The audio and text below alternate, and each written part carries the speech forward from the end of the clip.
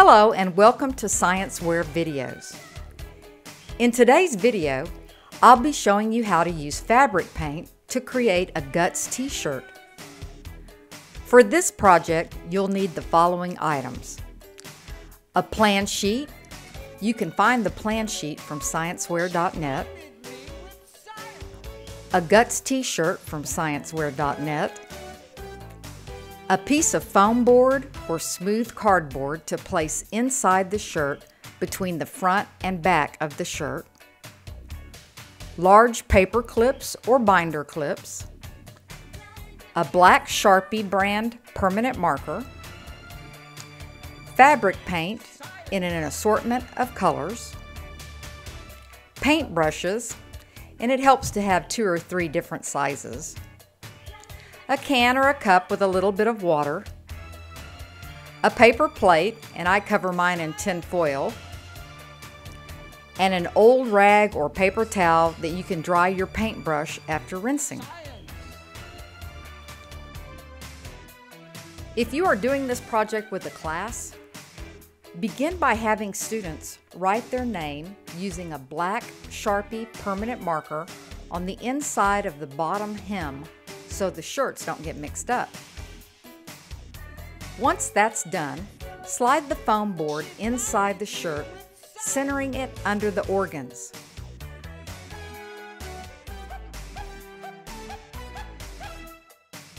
Smooth out any creases in the fabric and clip the shirt to the foam board using the large paper clips or binder clips to help hold it in place. Before you start any ScienceWear project, make sure you and your students have completed a plan sheet so you know exactly how you want your finished design to look. Keep your plan sheet beside you so you can refer to it as you work on this project. Squeeze a small amount of paint onto your plate that's covered in foil. I like to start from the top of the design and work my way down to keep from smudging any wet areas. I also like to work one color at a time so I don't accidentally mix any of my paint colors. Using small strokes and working from the edge of the area inwards, paint all of the organs on your shirt.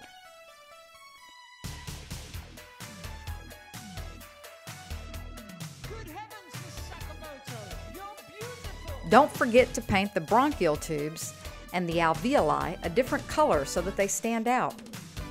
Sometimes I like to add a little bit of shine to my designs by adding some clear sparkle paint, also called crystals, to certain sections. Once you have finished painting, hang your shirt on a hanger and let it completely dry.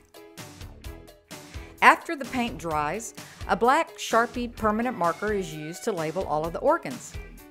Make sure your students have their plan sheets beside them as they label so they don't mislabel or misspell their organs. And there you have it, a personalized Guts t-shirt from ScienceWear.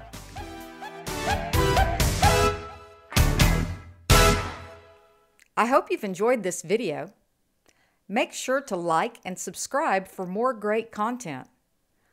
Also, stop by sciencewear.net to see all of our kid-approved, star-tested science wearables.